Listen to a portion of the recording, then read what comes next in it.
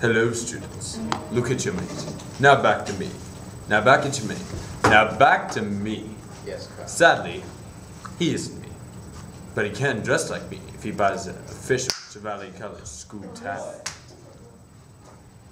Look down. Now back up. Where are you? You're in a homemade canoe, sailing with the mate your mate could dress like. Anything is possible when you have a Chevalier College official tie. Fish catch! Look at your hands. Back at me. I have it. It's your dorky mate school photo with no tie. What a loser! Look again. The photo is his new girlfriend. Anything is possible when you have a Chevalier school tie.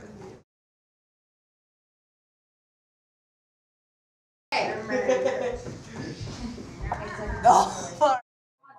Tweet,